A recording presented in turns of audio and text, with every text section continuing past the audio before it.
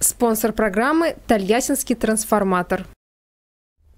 Здравствуйте, 30 января. Открытый канал начинает свою работу. Программу «Ход событий» в прямом эфире для вас сегодня ведут Денис Белоусов и Александр Никиш. Если вы хотите сообщить нам новость, то позвоните нам в редакцию по номеру 680258 или же пришлите ваше электронное сообщение, то есть письмо на адрес info собака oktv.media. И, конечно же, вы можете связаться с нами по скайпу, который звучит практически так же oktv.media. Добрый день. Объявленный год литературы набирает обороты. Вот, например, СГУ призывает студентов сделать селфи с своей любимой книгой – Зачем это нужно, поговорим сразу после новостного блока. К нам в гости придет профессор СГУ Вадим Михайлин.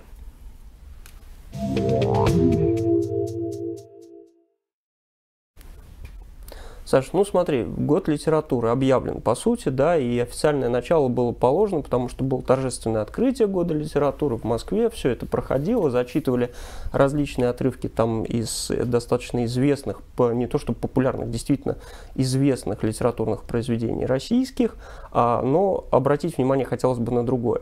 А, год литературы – это уже очередной год в череде, которые вот были. То есть до этого у нас был год культуры, еще раньше был год русского языка, год семьи и так далее и тому подобное. Но давайте рассуждать откровенно. В год семьи какой-то крупной политики и крупных деяний политических именно в отношении семьи практически не было. В год русского языка страна не стала писать грамотней, ну, ни насколько, да, мало того, ближе к году культуры даже показатели ЕГЭ сильно снизились. И опять же, это отнесли не к общему развитию, а именно вот а, к более лучшей работе контролирующих органов проведения экзамена. Опять же, получается, что, а, ну, получается риторический вопрос, грубо говоря, зачем нам все это надо? Ну, а как открывался год литературы в Саратове и что говорили о годе литературы у нас в городе а в материале нашего корреспондента Романа Козлова.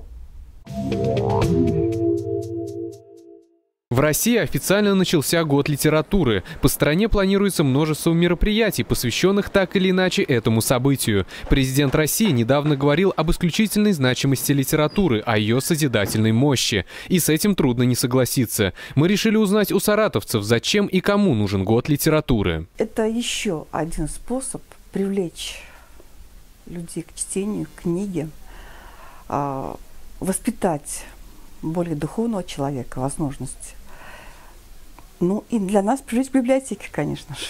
То, что накачивает порнографию, это садизм. Это я считаю, что нельзя. Надо, чтобы они читали, надо, чтобы знали классику свою. Ну и не, не, только не нашу. А сейчас уровень грамотности у детей очень низкий.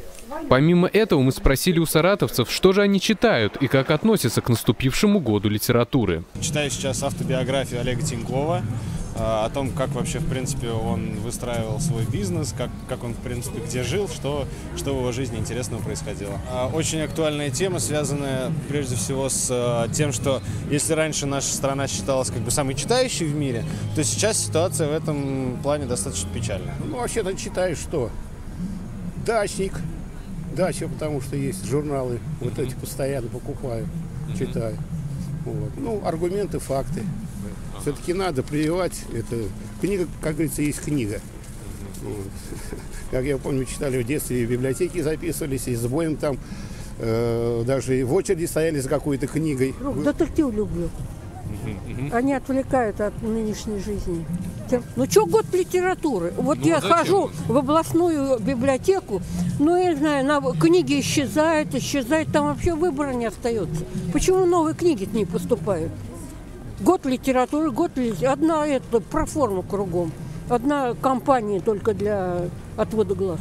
По мнению литератора Алексея Колобродова, это государственное начинание само по себе хорошее, так как обычный человек, возможно, начнет существовать с более высокими помыслами. Тем самым, через подобное влияние на людей, ситуация в стране может измениться к лучшему. Вот эти компании, они, конечно, достаточно может быть, забюрократизированные, достаточно потешно это звучит, да?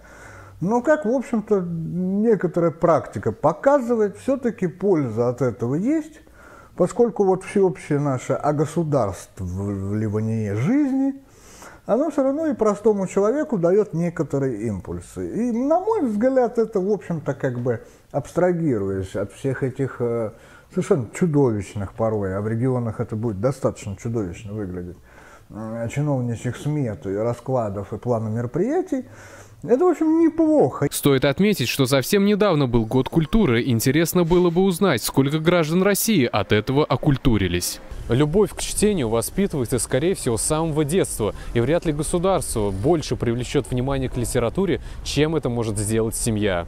Роман Козлов, Виктор Рыков, Открытый канал. Ну а современная литература, в особенности фантастика, обретается заново, вновь на страницах федеральных СМИ. А, я уж думал, ты меня хочешь порадовать какими-то новыми сюжетами, которые наконец-то кто-то придумал. Прекрасный сюжет. Привожу пример. Сайт Украина.ру, дочерний проект информационного агентства «Россия сегодня», того самого Киселевского, опубликовал текст под названием, внимание, «Порошенко – выдвиженец самого Люцифера». Автор текста Михаил Пасечник. Это новый украинский роман? А, это украинский журналист, я так понимаю, а, который вот. работает на России сегодня. Так вот, Михаил, Михаил Пасечник а, приводит ряд доводов, согласно которым Порошенко заключил сделку с дьяволом. Текст настолько прекрасен, что нельзя его хотя бы частично не зачитать. Итак, что пишет? Есть основания считать, что Петр Порошенко заключил сделку с дьяволом и пришел к власти с его помощью. О том, что шоколадный король является выдвиженцем царя тьмы, говорят много неопровержимых фактов. Но были до этого и другие сделки с дьяволом. Среди тех, кто был, входил в союз с Люцифером, был Адольф Гитлер. В нынешние времена в Берлине был найден договор фюрера с сатаной. В нынешние времена в Берлине. Это настолько размытое понятие, что Продолжаем. Итак, договор был датирован 30 апреля 1932 года и подписан обеими сторонами. Согласно контракту, дьявол предоставлял Гитлеру неограниченную власть, которую он должен был использовать для творения зла. Взамен Адольф Гитлер обязался ровно через 13 лет отдать дьяволу свою душу. Документ подписан кровью, который изучали четыре независимые экспертизы и пришли к, к, к, к выводу, что подписи настоящие.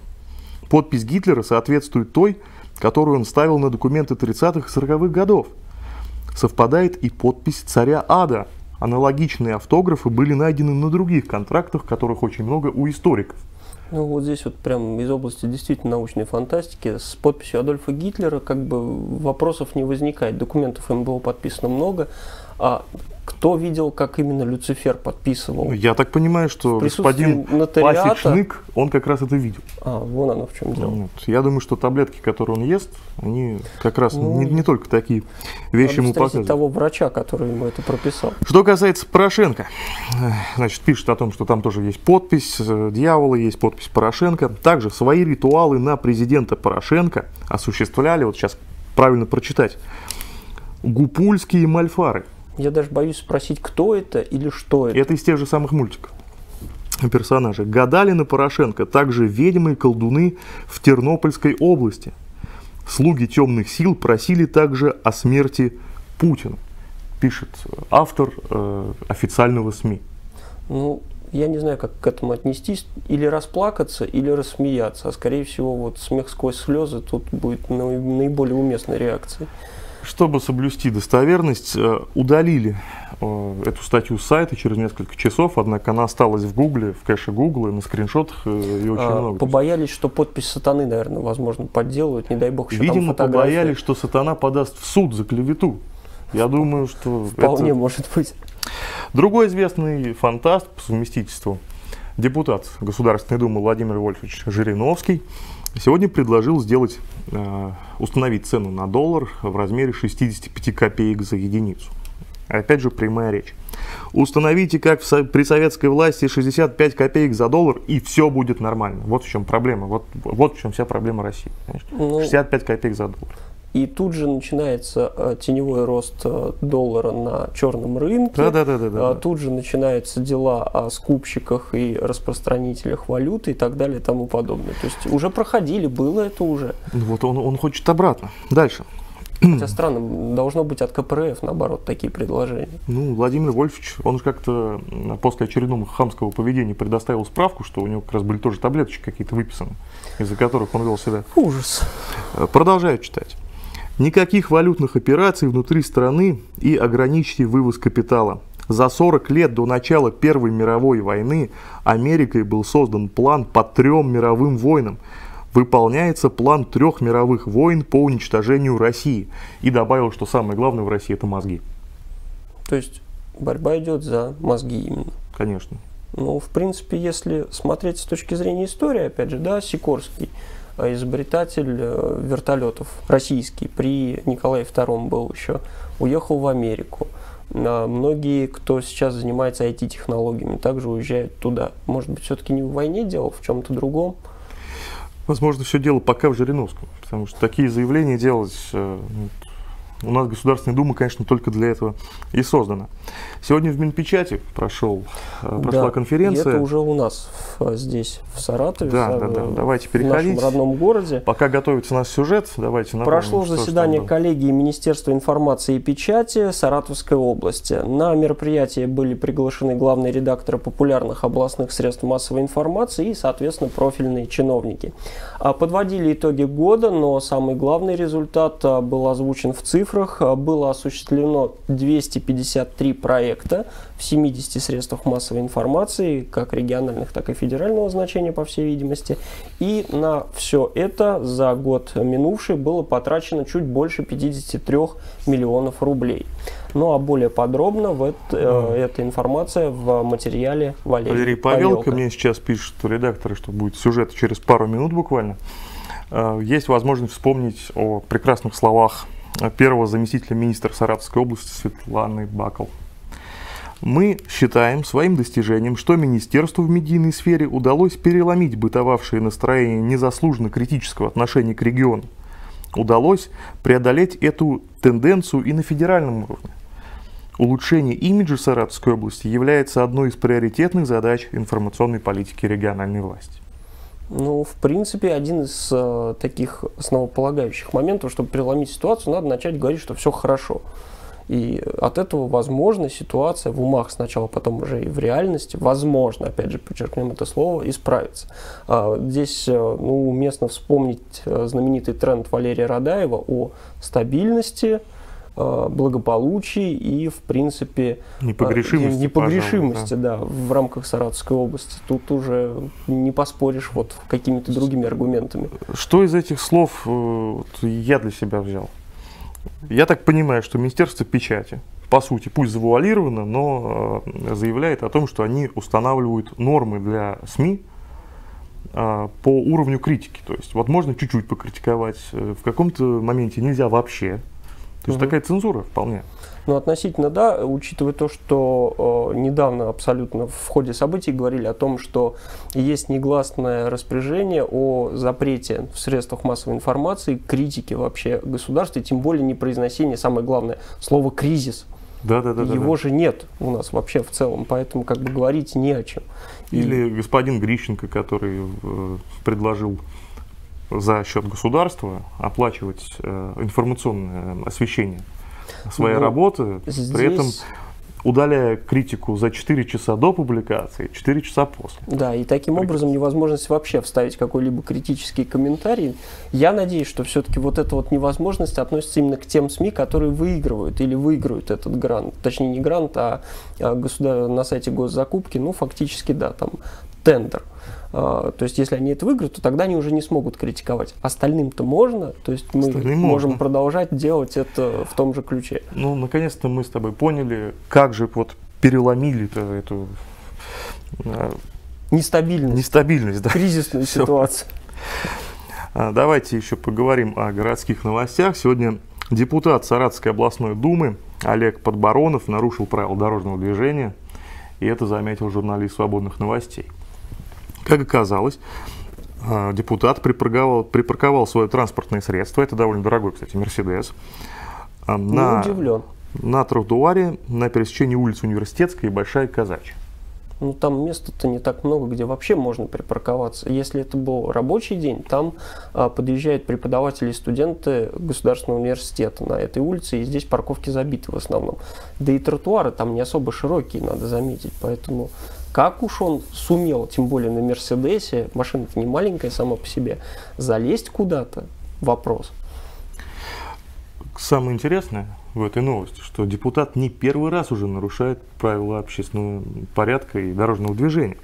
Так, в минувшую среду он э, пытался поставить свой автомобиль у памятника Столыпину перед заседанием областной думы. Но тогда появился совершенно неожиданно полицейский, и что еще более неожиданно указал депутату на его нарушение, и ему пришлось представлять. Согласно автомобиль. административному кодексу, опять же. Да, да, да, да. да. То есть вот э, наконец-то в ну, Саратовской в области веке, полиция, да, полиция смогла, смогла пресечь правонарушение со стороны представителя власти, уж тем более депутата областной думы. Областной же думы? Областной. Областной думы. Вообще это надо записать в Красную книгу достижений Саратова и Саратовской области и сказать, что, что все-таки у нас власть тоже подчиняется тем же законам, что и обычные граждане. Прекрасно. У нас там дальше Керри идет и и много всего еще интересного. Кстати, Все. если говорить о, о такой вот подчинении э, госслужащих да, власти, то э, практически такой же процесс, э, который ярко демонстрирует то, что государственные служащие подчиняются тем законам той страны, в которой они проживают, э, служит следующая новость. Она поступила из Associated Press, это известное средство массовой информации в Америке, можно сказать, информационное агентство большое, не можно сказать, а нужно сказать.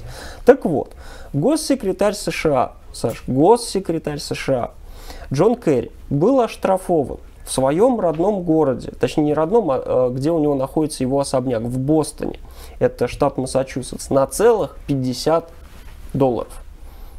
С ума сойти. Это не 50 тысяч. Кэрри, да? а Кэрри, да, вот э, госсекретарь США, то есть в кои-то веке вообще можно... Я представляю удовольствие того человека, который выписывал этот штраф, в целом, да, это же делали сотрудники. За что штрафанули? -то?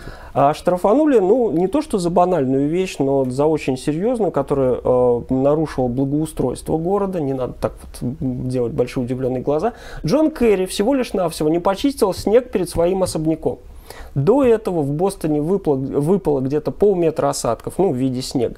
И поскольку э, у них нет таких законов, точнее, нет такого снега, под который можно было бы написать закон о том, что каждый обязан чистить перед своим домом снег, э, мэр города Мартин Уолш обязал всех жителей города почистить снег перед своими домами. С каким законодательным актом? От, да, да, да. Ну, в распоряжением в, в рамках города.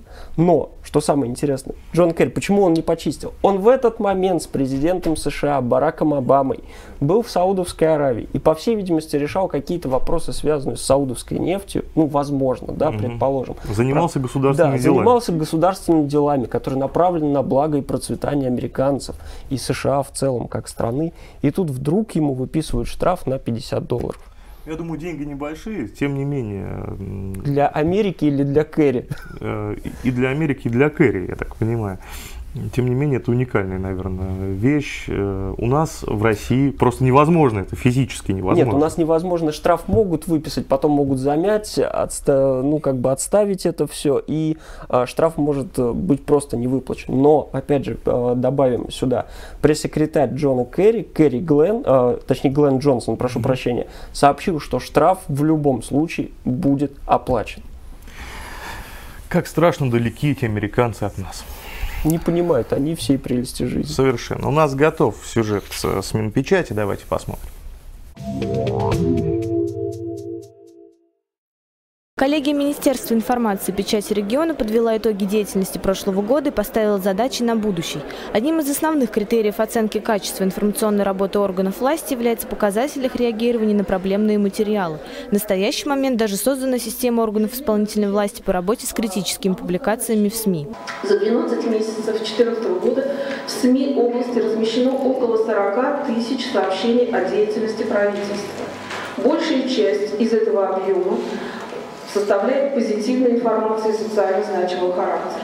За текущий год в региональных СМИ было размещено около 700 критических материалов, которые потребовали реагирования органов исполнительной власти.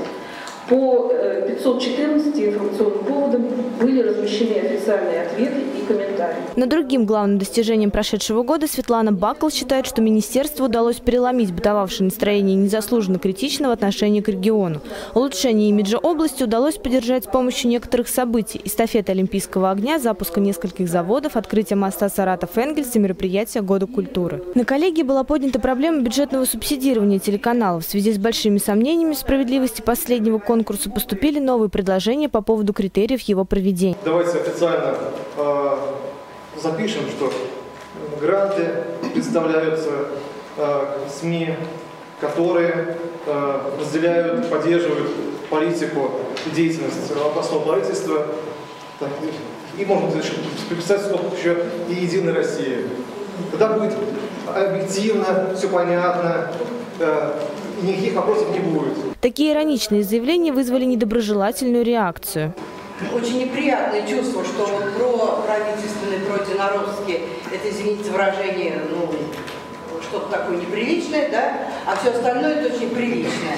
У нас нет средств массовой информации, которые сами зарабатывают себе на жизнь все, ну, кто-то когда-то э, чем-то помогает, и вполне э, известные люди, очень богатые люди содержат свои средства массовой информации.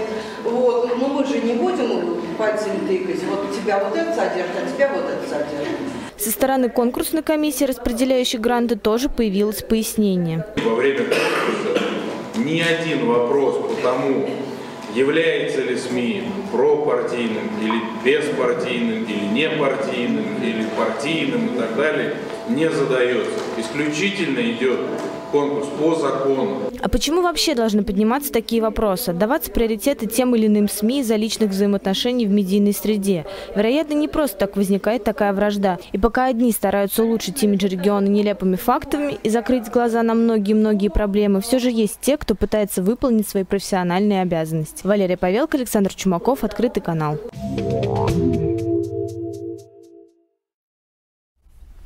Очередные публичные слушания прошли сегодня.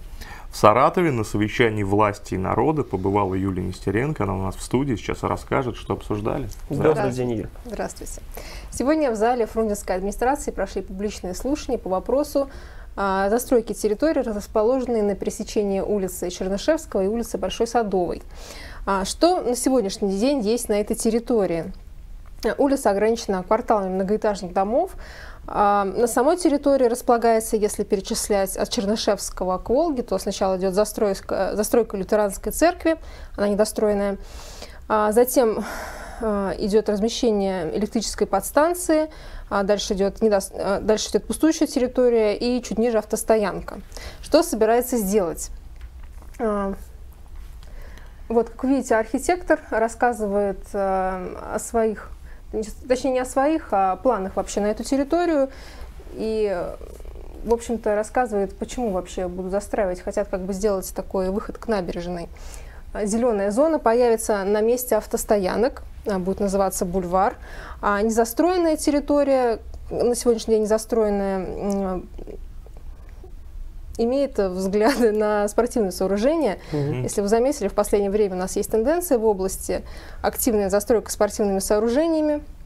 То есть а, построят еще один ФОК? А, не совсем. Вот есть такой известный блогер Денис Жабкин, а, он всегда разговаривает про застройки, про территорию нашей Саратовской области. И там развернулась беседа на эту тему. И, в общем-то, Участники беседы отмечают, что здание, скорее всего, будет предполагать фитнес-клуб, а, поскольку угу. это здание не имеет зрительских мест, поэтому они делают такие выводы. Угу. Вот, ну, вы видели, насколько активно проходили публичные слушания, сколько мнений прозвучало, эмоций за и против. Интересно. Это сарказм, да? Это сарказм, разумеется, поскольку, на мой взгляд, э, люди, пришедшие на публичное слушание, не были абсолютно заинтересованы в этом вопросе, у них не было никакого мнения, они вообще, в принципе, я думаю, не догадывались, что происходит. О чем То есть их кто-то привез речь? туда, видимо? Я думаю, что действительно, как бывает такое, что собирают определенную группу людей. Студенты, бюджетники да, и да, так да, далее. да. В обязательном порядке стоит подчеркнуть для того, чтобы создать кворум. Ну, спасибо, Юля, за Спасибо большое, Юля, за твой материал, за рассказ. Что? Продолжим. О победах России. А, давай, очень О интересная тема. победах России. Россиянка Елена Еременко получила порно-Оскар. В Может. номинации «Лучшая секс-сцена в фильме зарубежного производства». Стоит отметить, что вообще сам а, порно-Оскар вручается в Лас-Вегасе, начиная с 1984 года. И вот впервые россиянка стала обладателем этой условно престижной э, награды. Уроженка Комсомольска на Амуре, модель и порноактриса Елена Еременко широко известна, естественно, в узких кругах э, под псевдонимом Хеннесси. Родилась она в ноябре 1989 года, свою карьеру начала с разнообразных интернет-сайтов. То есть ей сейчас 25, получается. Видимо, да. В 25 стать номинантом и получившим Оскар. Ну, это, это достижение. Я конечно. понимаю. Первые съемки девушки прошли в 19 лет. Вообще настоящий прорыв, есть чем гордиться. Это вам не твой Денис Левиафан. Нет. Левиафан, русо- Сравнивать-то не есть чем вообще, если А моральный. Левиафан. То ли дело Алена Еременко.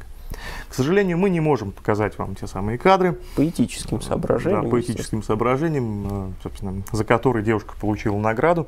Но у нас есть другой ролик, и тоже о любви, только на сей раз о любви к Путину.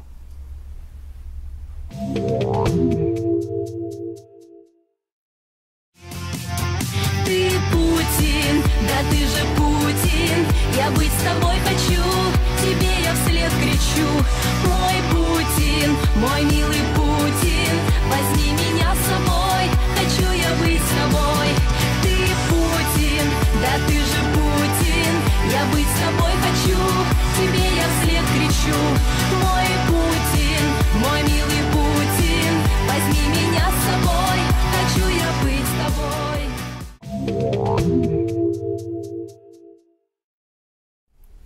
Это, если кто не знает, новосибирская певица Машани. Мгм. Вот прекрасный такой патриотический. Честно не знал, но обратил внимание, что э, лицо второго персонажа, который на мотоцикле подъехал за девушкой, не показано. То есть Там, если смотреть весь клип, то как раз видно, что это вот А. сквозь все намеки на то, что шлема. им- именно, именно Хотя да, Владимир действительно, Владимирович. у нас Владимир Владимирович же известен тем, что он а, достаточно плотно общается с московскими Байкерами. байкерами, Мгм. да, ночные волки, и, можно сказать, один из уже, наверное, почетных членов этого А байк-клуба. он даже почетный президент. А, вот даже как. То Да, есть да. вот этот момент я уже упустил. Вот такие ролики все чаще начали появляться. Хотя, знаешь, Саш, у меня вот сейчас, просматривая этот эпизод, э, я вспомнил, мне в руки просто попался как-то диск с корейскими, ой, не с корейскими, с китайскими народными певцами, и вот там нечто подобное было же только в адрес уже э, председателя коммунистической партии Китая. Они пели «Мой Мао», да, да, «Мой милый да, да. Мао». И там еще даже вот почему-то был русский по- подстрочный вот перевод. То есть можно было включить э, титры, точ- точ- точнее титры можно было китайский, а можно было русский. Мгм. А, вот остался вопрос, почему именно русские, да, и вот, ну, как-то так. Скоро Но- мы догоним но и обгоним. похоже, да. На этом новостной блок у нас заканчивается. Сейчас небольшая пауза, и с Вадимом Михайловым поговорим про год литературы. one.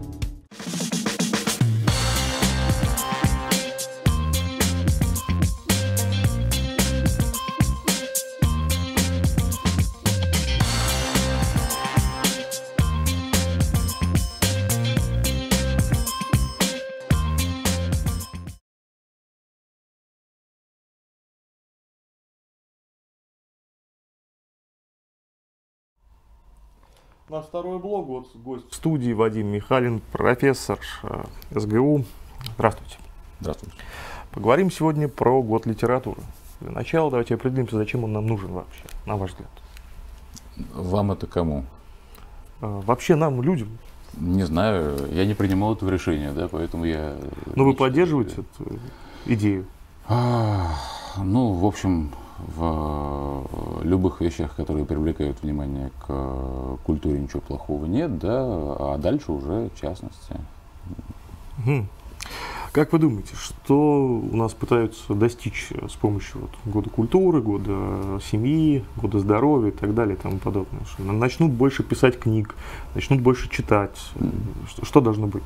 Нет и нет, не, не писать, не читать не начнут больше, это само собой, да, это процесс неорганизуемый э, никакими компаниями, да, ну а компании, ну мы, не знаю, там как вы, да, я в Советском Союзе прожил достаточно долго, э, вот, и привык к тому, что если объявляется там, год дружбы с народом Монголии, да, то, угу. в общем-то, ну, организуется некоторое количество мероприятий, устраиваются фуршеты, да, ну, пройдет какая-нибудь там ретроспектива, что-нибудь еще такое, стихи почитают. Угу. То есть по сути, стихи, фуршеты, вот весь год литературы? А, ну, я э, очень не хотелось бы э, думать, что это все к этому сведется, да, но боюсь, что именно так и будет, потому что, опять же, да, если э, это процесс, который э, не организуется никакими э, там, указами, постановлениями, э, введением урочных лет э, или неурочных для литературы. Да, люди как писали, так и пишут, как читали, так и читают. Да. Если э, стоит задача э, сделать так, чтобы школьники больше книжек читали, э, что, ну, из-за того, что будет год литературы, они не будут этого делать. Угу. Ну. Есть мнение, что год литературы это несколько патриотическая акция. Потому как у нас, когда говорим о величии России, э, говорим о том, что у нас очень красивые девушки. У балет. Нас, да, да, да, да. Ага. балет Ракеты, девушки. У нас ага. огромные просторы, угу. красота и великая русская литература. Угу. На ваш взгляд, это как-то коррелирует с э, патриотизмом? А, ну, э, поскольку у нас в стране сейчас большая мода на патриотизм, да, то с ним коррелировать может все что угодно. Там трудно придумать что-то такое, чтобы не коррелировало с патриотизмом при желании. Угу. Да? Вот. А великая русская литература, ну, да, конечно, проблема только в том, что великая русская литература, ну, это все-таки там 19 век, да, все эти люди давно умерли. Мало того, давно умерли те люди, э, для которых эти книги писались, а современному школьнику ему ну, катастрофически неинтересно читать ни Достоевского, ни Гоголя. Да?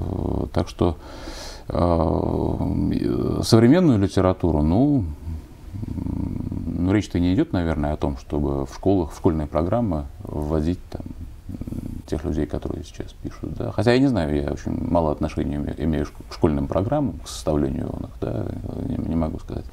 А, вообще, нет, это, это вещи, которые они в смысле, литература сама по себе, а не компании по патриотическому воспитанию mm-hmm. за счет литературы. Да, они нужны и полезны, и, в общем-то, а человек это вообще животное, которое рассказывает истории, да, и проблема только в том, что в разные времена он по-разному рассказывает это, эти истории, да, а, и по-разному их воспринимает. И современному, там, не знаю, человеку, которому 15 или 20 лет, ему гораздо удобнее получать эти истории через э, какие-то визуализированные источники. Это кино, это компьютерные игры, все что угодно, да, литературе труднее.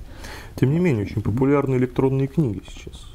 Люди начали читать с мониторов своих э, мобильных устройств, Просто едешь в автобусе, mm-hmm. сидят, читают книжку. Сидят, читают. Ну, э, само собой, хотя вот кто-то мне говорил из людей, которые связаны с продажами э, вот этих вот гаджетов, да, что э, пик прошел давно уже э, вот этих читалок, да. А, я не знаю, так это или не так, я, опять же, не специалист в этой области.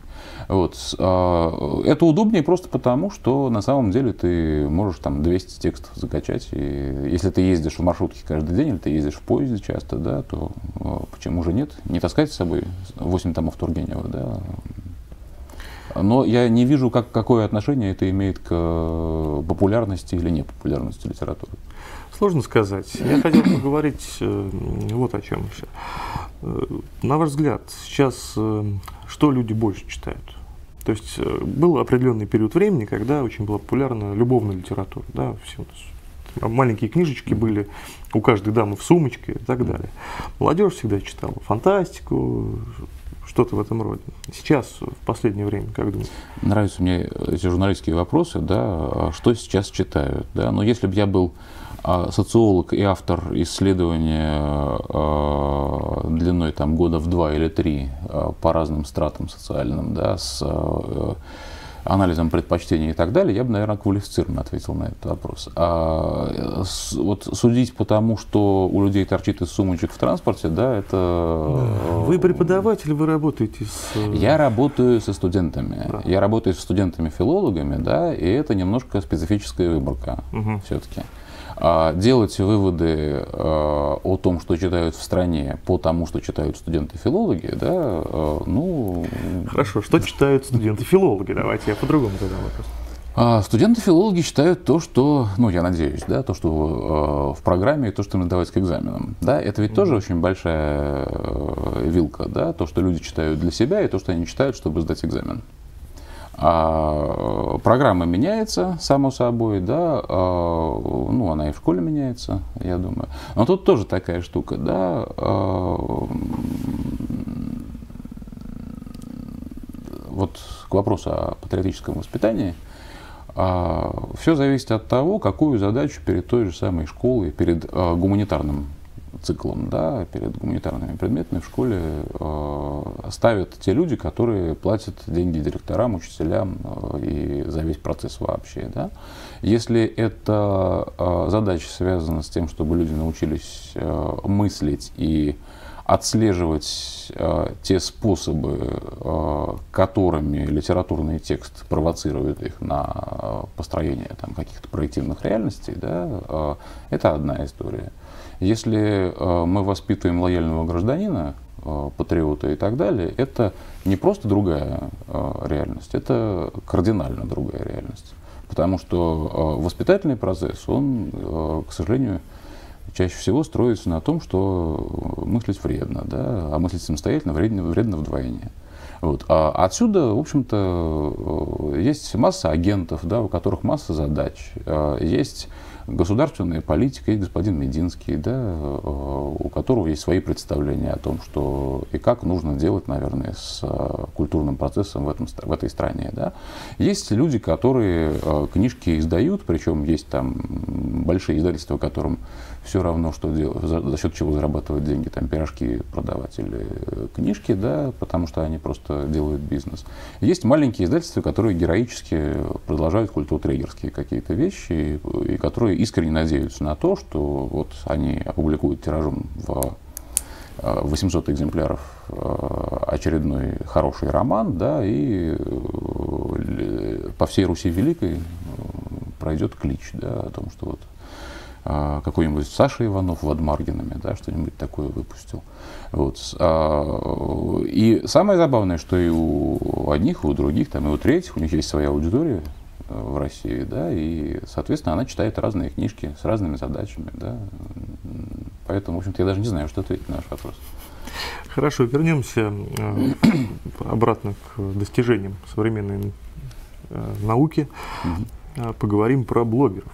Такие современные писатели, которые, угу. по сути, каждую там, день, может быть, каждую неделю, кто, кто на что гораст, пишут текст. Это не совсем журналистика, потому что пишут они обычно какие-то истории свои, может быть, своих знакомых. Это вот что-то среднее между книгой и а, журналистикой. Насколько перспективно вот это блогерство, когда каждый пишет и дает читать всем? Э, умрет ли книга бумажная? Нет, книга бумажная не умрет никогда. Вот э, в Саратове есть такой замечательный э, человек, Иван Соловьев, да, вот на, на проспекте магазина. Mm-hmm. Э, это не реклама, да, э, никоим образом, хотя э, он мой большой приятель. Вот, человек, который торгует, принципиально не торгует художественной литературой, а торгует книжками по истории, философии, там, социологии, психологии и так далее. А, вот что-то мне подсказывает, что несмотря на то, что тиражи книжные все падают и падают и падают, да, а, все равно останутся люди, которые будут а, книжки читать, покупать, да, ставить у себя на полку, там, с тем, чтобы в любой момент можно было не в компьютере найти текст электронный, да, и закачать его там на читалку, а снять, посмотреть конкретную страницу, там конкретную цитату, да, что-то еще такое.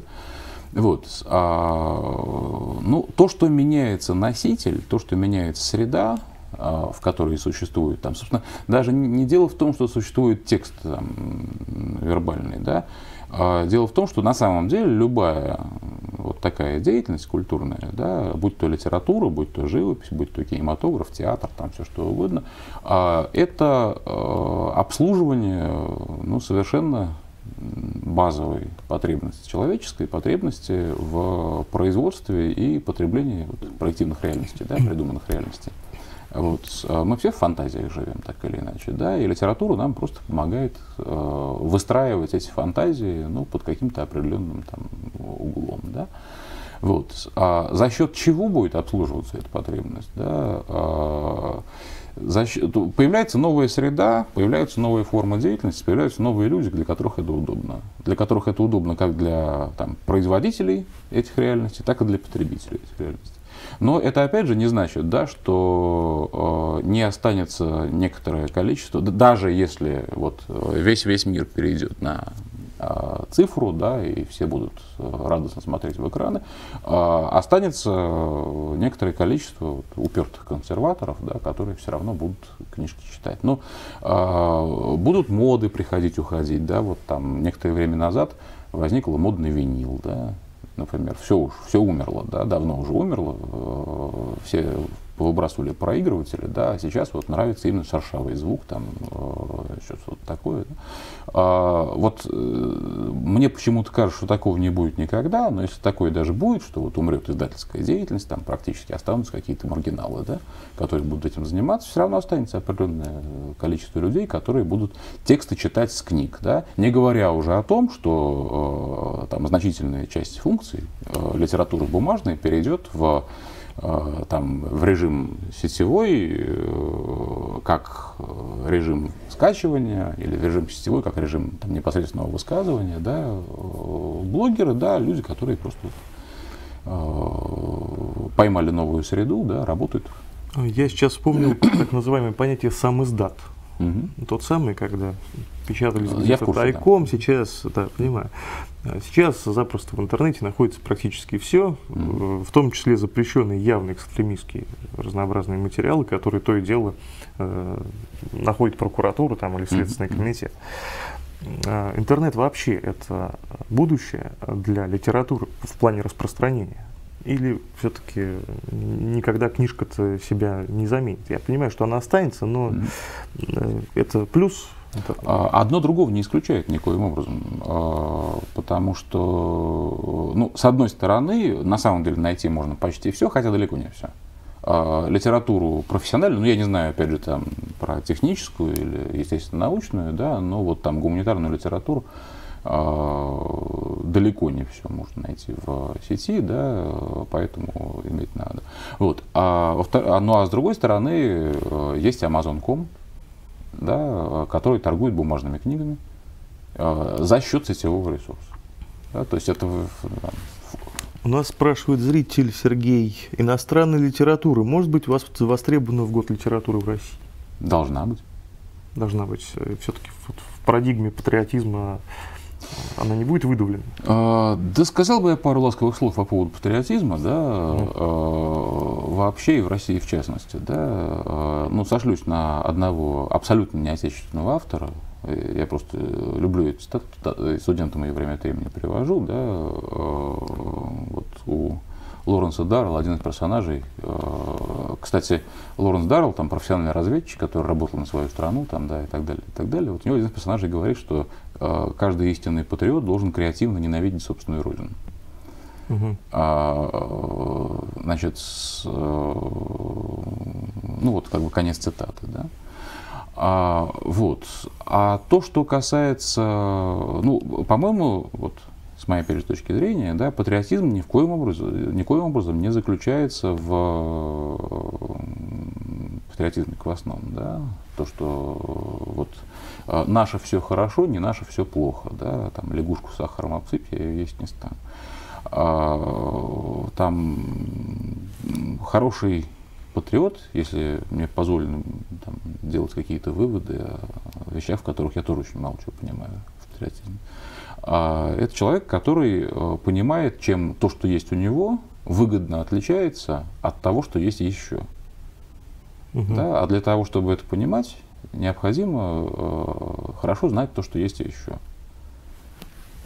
Прекрасно. Давайте о политике как раз поговорим, ну опять, о литературной политике. Mm. Есть такой писатель, антисоветчик Владимир Войнович. Если знаете, тот самый, который Чонкин ну, написал «Москву 2042». Он, вернувшись в Россию уже после развала Союза, заявил, что, в принципе, я из этой страны уезжал. Ничего не изменилось, опять э, та же власть, э, те же люди, те же правила, те же порядки и то же будущее. С другой стороны, есть знаменитейший Эдуард Лимонов, который очень долго критиковал власть, лично Путина, и вот в последний год на фоне событий в Украине начал, наоборот, собирать митинги за Путина, начал поддерживать эту власть. Вообще, люди, которые привыкли излагать свою точку зрения читателю, они могут так кардинально меняться? И меняются они сами или с ними меняется и читатель? Э, да, да. Меняются они сами, меняется читатель вместе с ними. Читатель, там, зритель, все что угодно, да, но э, это не только литература, да, там, Бортко, да, который снял «Собачье сердце», но более антисоветского фильма, да, как трудно себе представить, да, не патриотического, угу. не патриотичного, да. Вот. И человек, который сейчас снимает совершенно другие вещи, там в Государственной Думе э, представляет коммунистическую партию, да, и высказывается э, очень забавно время от времени. Вот. Э, конечно, люди меняются, да. Э, почему? Ну, человек вообще это существо, которое действует и мыслит абсолютно ситуативно. Это большая э, такая монотеистическая иллюзия, что человек там обязан быть равен самому себе, да, там, что у него есть какая-то устойчивая личность. Э, э, есть какие-то доминанты, которые, знаете, доминанты, проблема в том, что они чаще всего не то чтобы взаимоисключающие, но взаимодополняющие очень серьезно. Вот, и поэтому, когда меняется, радикально меняется, ну, как человеку кажется в тот момент, когда он оценивает ситуацию, да, ситуация вокруг него, э, он предпочитает быть э, равен ситуации и, может быть, не очень равен себе 20-летней э, давности. Да, это нормально. Это, я думаю, что подавляющее большинство людей, если там прожили достаточно большое количество лет, да, могут там, оглянуться лет на 20 и представить себе, что 20 лет назад они чуть-чуть отличались от себя нынешнего. Раз уж заговорили о кино, последний вопрос задам сегодня. А, очень много обсуждают Левиафан, сейчас немножко подуспокоились. Я думаю, что с начала февраля, со следующей недели, будет старт в кинотеатрах. А, тем не менее, в кинотеатрах он выйдет обрезанным без мата. Mm. Ваши отношения вообще к мату не только в кино, но и в книгах? Нужно, не нужно? Если не нужно, то как без него обойтись? А, но отношение э, у Фаин Георгиевны Раневской была такая замечательная фраза, да, когда ей кто-то сказал, что в русском языке нет слова «жопа», да, а, что жопа есть, а слова нет. Да. А, это отдельный большой разговор о функциях э, табу в том числе языковых, там, поведенческих, да, это, я боюсь, что не, не, не на прямого эфира. Да-да-да, сейчас, я, сейчас я перейду к этой теме, да. А, я считаю, что если в живом великорусском языке мат – это то, на чем разговаривает 90% э, населения, да, то э, там принятие законов о полном запрете э, мата в литературе, кино и так далее – это ханжество. Хм. Спасибо. У нас в гостях был профессор СГУ Вадим Михайлин. Огромное спасибо еще раз. Сейчас небольшая пауза и встретимся с вами снова в студии. К нам придет Денис Руденко с юридической рубрикой.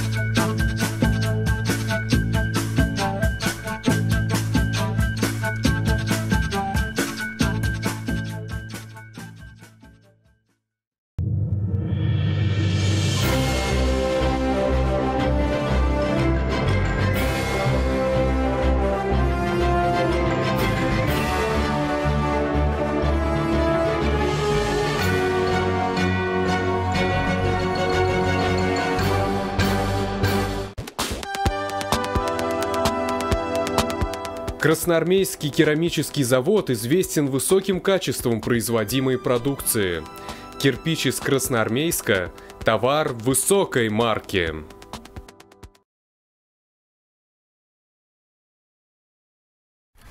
Как всегда, по пятницам у нас юридическая рубрика с Денисом Руденко. Здравствуй. Здравствуйте, Александр. Здравствуйте, Что расскажешь телезрители. О детях поговорим. Угу. Да. Значит, э, Государственная Дума опять решила позаботиться о детях. Вернее, о тех детях, которым должны алименты.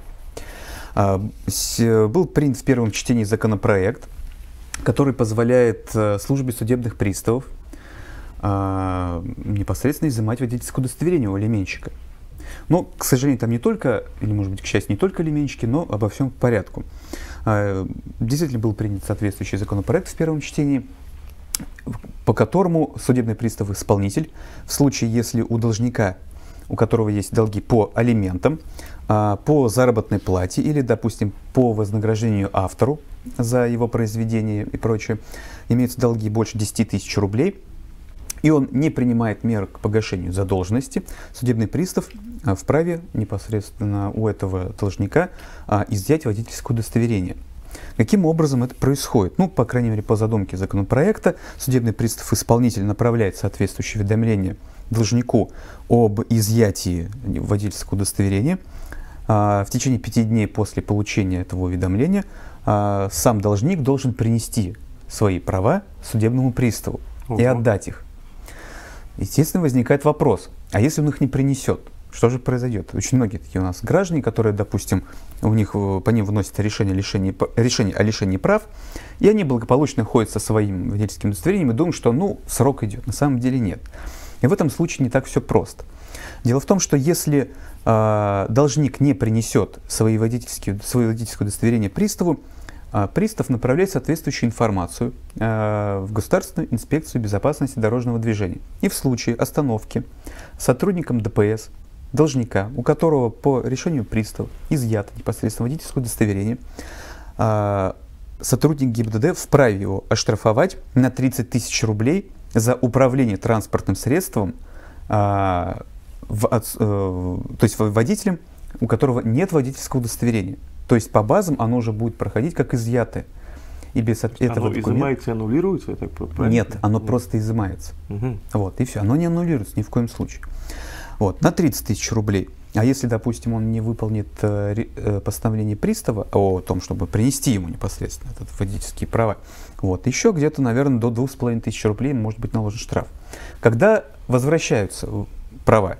Когда будет погашен долг? То есть очень просто. Либо нужно предпринимать меры для гашения долга, либо если вы не гасите долг, то, соответственно, документы изымаются до того момента, пока долг не будет погашен. А, естественно, было очень много критиков этого закона. А, в частности, почему водительские удостоверения? Там, в, по крайней мере, разработчики законопроекта говорят о том, что, ну, если мы возьмем людей, которые выезжают за границу, их не так много на самом деле. А вот, по крайней мере, алименщики, которые, ну, злостные алименщики, которые не платят своим детям, их у примерно 37% имеются водительские права. То есть было бы резонно, наверное, действительно лишить их какой-то возможности и так далее. Потому что очень многие свое имущество на самом деле переписывают на родственников, на друзей, на бомжей и так далее. То есть это реальные факты. И если гражданин, должник ездит, допустим, на BMW X5 спокойно, и пристав видит, что это не его автомобиль, он не может у него его изъять, потому что это не его. А, плюс ко всему, также Какая критика была к этому законопроекту? Приставы, работа судебных приставов. Очень много нареканий к работе приставов в нашей стране. А, бывало, некоторые юристы считают, что это одна из самых бесполезных структур в нашем государстве, потому что, ну, даже если мы пос посмотрим по городу Саратову, есть решения, которые не исполняются годами, вроде бы простые, а есть очень сложные решения, как, допустим, по таунхаусам, которые по щелчку практически пальца исполняются приставами, вызывается спецназ, и выселяются люди и так далее. Как будет работать пристав вот по этим документам? Будет ли он действительно отправлять это постановление? Будет ли он ждать вообще? Если он получит это водительское удостоверение, будет хранить у себя в, в, в материалах исполнительного производства, не потеряется ли оно там? Потому что но года 3-4 назад очень часты были различные э, такие производственные катаклизмы на местах.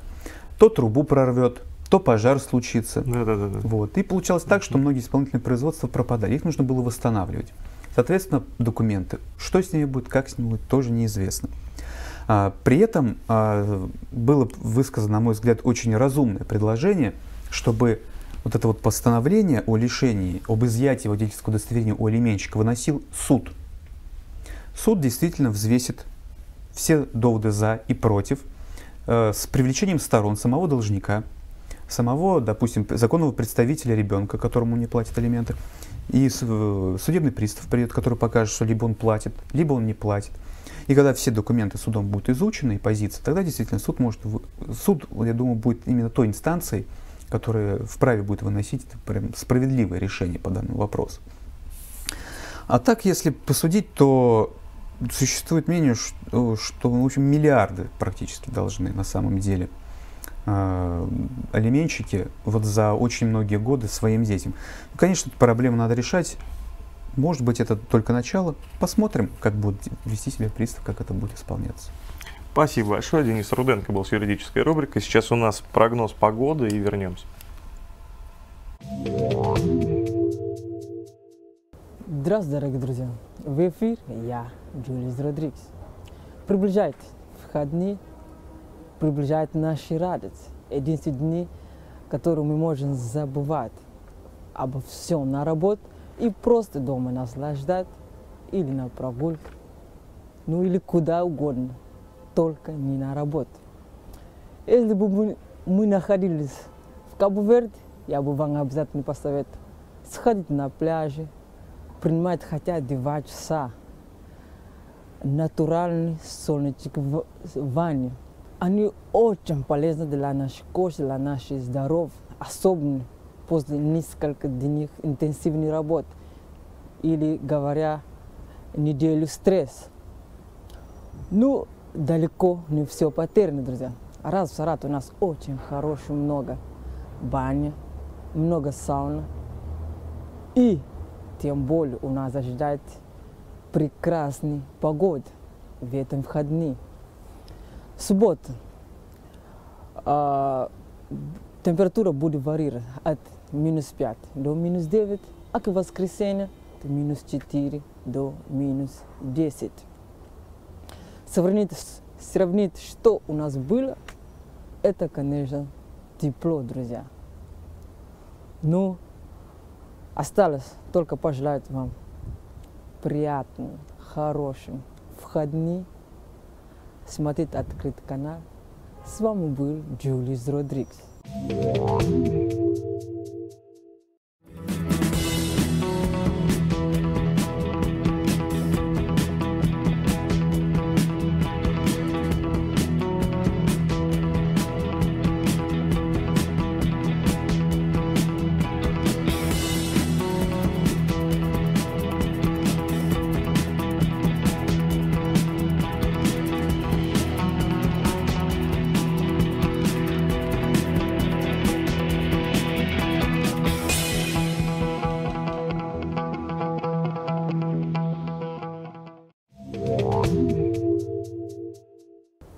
Здравствуйте, дорогие друзья! В эфир я. Ну и в заключение о хорошем. Завтра, 31 января, день рождения, вы не поверите, русской водки. Национальному алкогольному напитку исполняется 150 лет. Именно в этот день 1865 году Дмитрий Иванович Менделеев защитил докторскую диссертацию о соединении спирта с водой. Если раньше спирт с водой мешали как угодно, то вот именно 40 градусов придумал Менделеев. Ну и, видимо, именно в эту честь, в честь юбилея, правительство Российской Федерации снизило цену на самый популярный алкогольный напиток. С 1 февраля минимальная розничная цена за бутылку водки будет составлять 185 рублей, в то время как сейчас она 220. Ну, очередной подарок от правительства. Сразу после хода событий смотрите программу Евгения Захарова «Люди. Дело». Ну, а мы с вами прощаемся. Спасибо, что смотрели ход событий. До понедельника. Спонсор программы – Тольяттинский трансформатор.